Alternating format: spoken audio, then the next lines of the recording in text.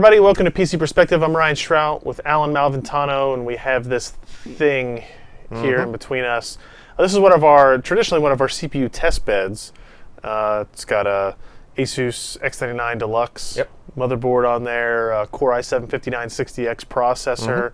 It's got this nice Corsair water cooler in there. Um, but you changed what our graphics card and PCI Express configuration was a little. Yeah, yeah, yeah. I had to put in a smaller graphics card to make room for five SSD 750s.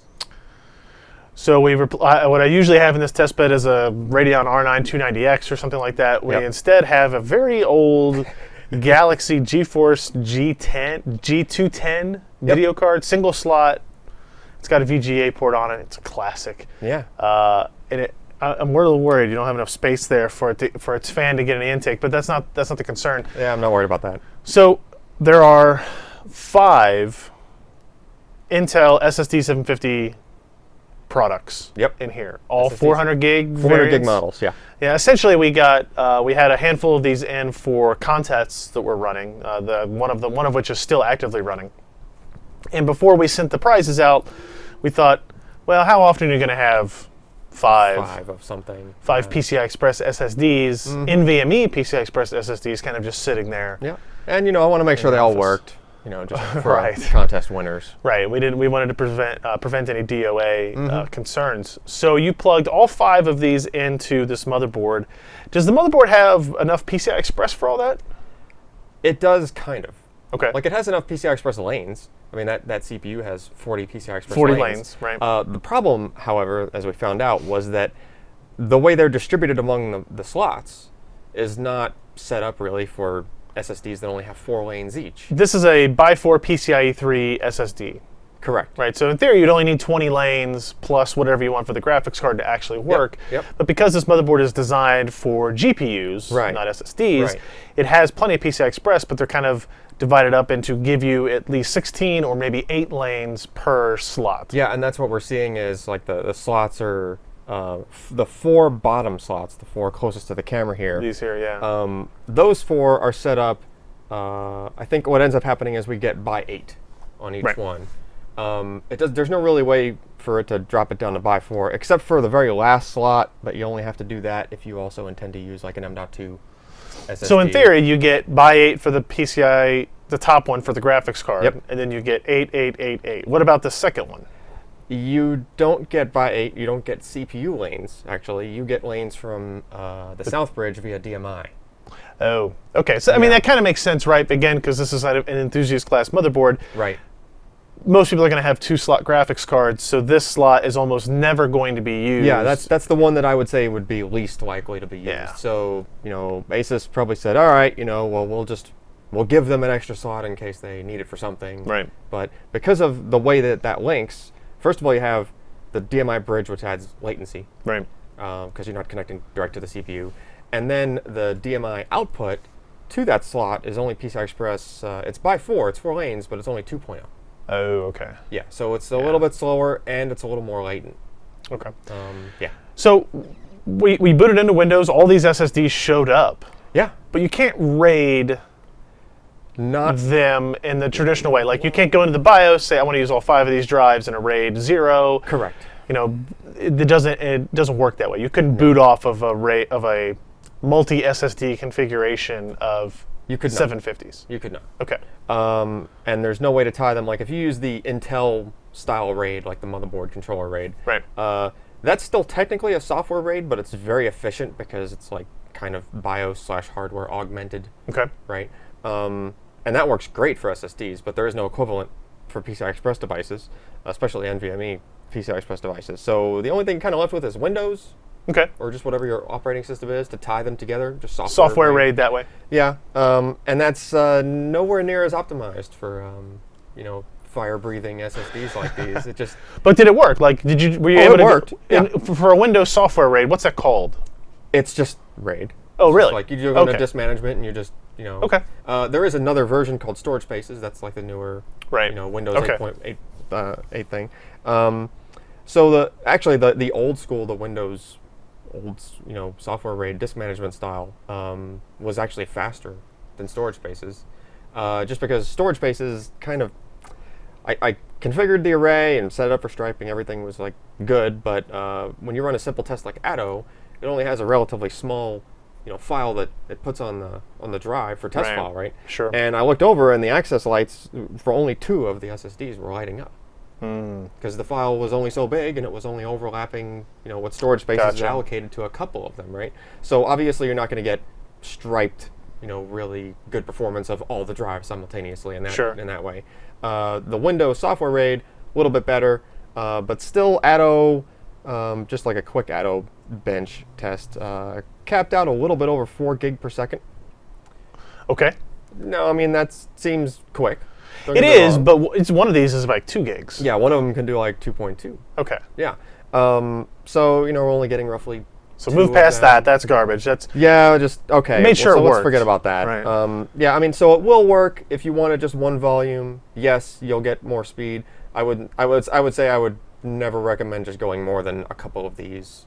If you Uh, intend yeah. to just have a Windows-based RAID, one drive letter, tie them together, sort of thing, right? Yeah. Um, but I figured, well, what the heck? We have them all together like this. Um, and if you were to have some other software, say some database software, or virtualization software, or something where you can just kind of like point it to, you know, chunks of storage, where that software worries about allocating the storage and you know partitioning it how it, it Yeah. wants to and Yeah. things like that, right?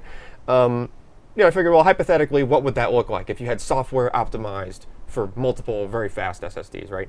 And we can simulate that with Iometer uh, because you can have multiple workers and point those sets of workers at different pieces of storage. Right. Right.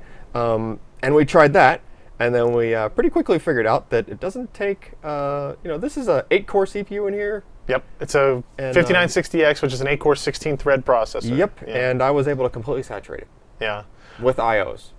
So what, what's that get us up to in terms of performance? Uh, so I don't have a number in here for the CPU not overclocked because we pretty quickly realized, oh wait, Yeah. CPU is the bottleneck. When when I mean we had so much storage performance that the CPU was the bottleneck. Yeah. We, I think its base clock is what 3.2, 3. I think it's six. I think boost is like 3.6 and Okay. 3. I think 3.0 was But we hit f- we overclocked to 4.5 4.5, 4.5 gigahertz uh, on all eight cores. Yep. Okay. Yep. And so what's that get us? So we moved. We ATTO showed us about four gigs per second.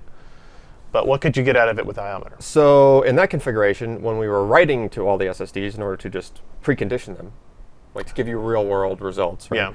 Uh, the write speed uh, to four of them was just over five gig per second. Okay. That's a write the speed. write speed. Yeah. Okay. Uh, read speed to four from four of them, just we're talking sequential writes or sequential reads, uh, 9.5 gig per second. 9.5 gigs per second. That's, okay. that's a bigger number. Yeah. Uh, and then just for kicks, even though we knew there was a DMI limitation and all those other limitations for that fifth For SSD, fifth which I wasn't really touching that much. right. Uh, if I added that in on the sequential reads, With a new able to worker to go to it. uh, yes, Right. um, I was able to do uh, 1.03 or sorry, 10.3. Wow, I was reading that wrong. 10.3 gig per second. So we're able to get over 10 gigabytes per second of storage performance Yes. Through those SSDs, and that's with the fifth one not only adding like The, about the a fifth gig. one, the fifth one was like it was like 830 meg per second Okay. or so, which Yeah. I, I did the math, kind of backwards calculated it, and it was saturating four lanes of PCIe 2.0 when you consider the overhead that you have. Now, when you do that, just sequential read, trying to get the maximum performance out of it, were we saturating the CPU then? No. No, no, no. Okay. No, CPU was just breathing easy. It might have been like Okay. 15 or 20 percent. You know, I did. So that's our our peak is like 10 gigs per 2nd or so, just over that's that. on sequentials. Yep. Right. And now, what about when you start getting into Random. the random stuff, where you go th- think about think about IOs per second and all that? So uh, with data on all of the SSDs, in other words, we're not kind of cheating and just trying to read from data that's not been written before. Uh, with everything pre-allocated and everything, and ra- uh, random reads, four of them. I actually had to back off of the fifth one because the fifth one slows things down. In that case, right? Because it's a slower link, has higher latency, and I would have to give up workers that were like I was doing four workers per SSD on the other four. Right. So it's a nice even number, right? Where and like I would have had to take workers off of those drives that were going faster and put them on a slower drive to do all five. So that was kind of a wash to try that. Okay. Uh, but with the four, you know, fast linked um, drives in place, at 1.77 million IOPS. Okay, That's a high number. that's a lot. That's a lot. Um, it actually works out pretty close to the individual drive specs, just times four. Okay, so it scales well. Yeah. So there's they're scaling, uh, but and the CPU was pegged at that point. Ha- Um, have we seen higher IOPS than that? Like when we go to shows and demos and stuff like that? We would you saw say? we saw an Intel demo at IDF with a ra- that rack full of 24 SSD uh, like P3700s, which is just the enterprise version of Right. of those, right? It was it was 24 of them. It was like eight per sure. like a you know controller or whatnot, right, right. or PCI Express like link, um, and that was I think they were boasting that it was over two million IOPS. I think that was their number. Right. might have to go back and check, but I think two million was like the the number that they were you know they were Okay. bragging about there, right? Right. So we're almost there with just four of these, right? So that's not too shabby, right? Um, and then I was trying to do some more testing just to figure out, like, you know, where was the true bottleneck there? Like, was it the SSDs? Because because Intel SSDs tend to go a little bit past their spec. Yeah, they seem Um, to be a little bit more. Yeah, um, and since I was saturating all of the CPU cores at the same time, I mean, what literally, like the mouse was kind of like hiccuping as it was going across the screen, and you know, iometer wasn't really refreshing very often, and, and that kind of thing. Um, so what I did was I ended up just reformatting all four of those SSDs, and then redeleting those partitions again, and, and formatting them trims them, basically clears out all the allocation. Gets it back to its fastest possible state Mm-hmm. immediately. Right. Right. Uh, and then now realize this is not even a realistic test, but to do random reads on empty SSDs, right? You're kind of You don't do that for very long. Yeah, I mean, you, I mean, you don't do that. It doesn't yeah, exist it's in the real it- world. You, Right. you would only read from something that you had written previously, right? Normally. sense. Um, but for the- for the purposes of just seeing, okay, you know, what if the SSDs could go just a little bit faster, and how much further into the CPU bottleneck can we push Okay. the system, right? And in that case, we got 2.03 million. IOPS. 2.03 million IOPS per second. Was that on the four drive or the five drive? That was the four. That was the four drive, freshly formatted and. Yep, and- everything fresh. Well, you hit 1.7 something with used data. like with- 1.77 with actual, like it was reading actual data, and at that data rate, uh, it was 7.2 gigabytes per second worth of random 4K reads. That's like That's- that's pretty amazing that it's able Yeah. to do that. It's almost as if it was a sequential figure, right? So what do you think? What do you think would happen if we took this configuration and moved it to like a dual processor system? Like like if we had like our streaming machine here that has Yeah. two 10 core processors, 20 threads each.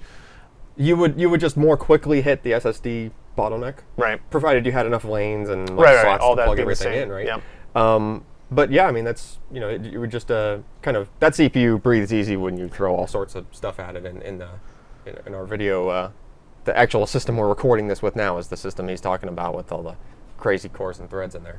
Nice. But then it's a matter of just do you have enough PCIe 3.0 slots right. right at that point. Um, yeah, I mean, I imagine if you, somebody could probably make some like interposer or some kind of an adapter board that would give you like a take a by 16 slot and turn it into four by four, you know, Yeah, PCIe yeah, that's true. 3.0s.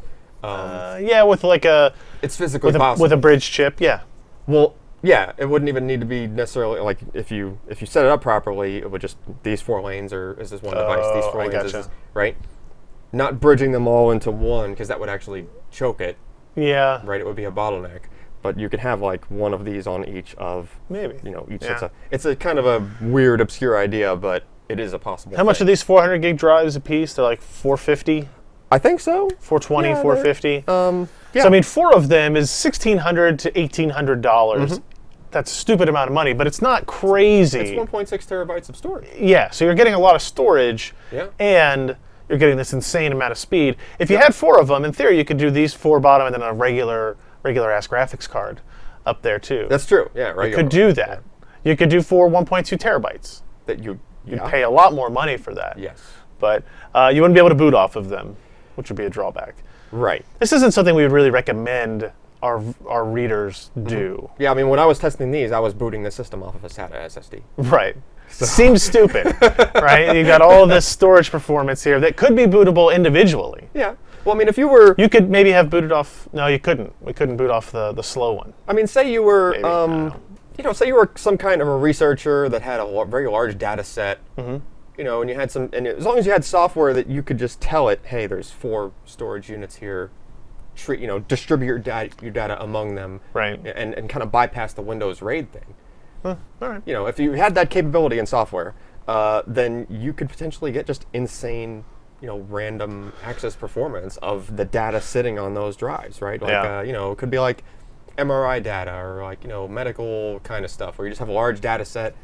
You need to be able to comb through it. You can't fit it all in RAM. Sure. But you want it to be really fast, right? This would walk all over anything that else that has to do with like a large set of data storage, right? This is pretty cool stuff. Uh, interesting technology demos for sure. Uh, Allyn has a, a story accompanying this that will list the benchmarks and we'll show you this, the screenshots of the iometer runs and the ATTO runs and stuff like that, and some more pictures of the of the setup and configuration there if you want to check that out. That will be in the description box below. For now, that's it from us. More videos coming soon. Thanks, guys. Thanks.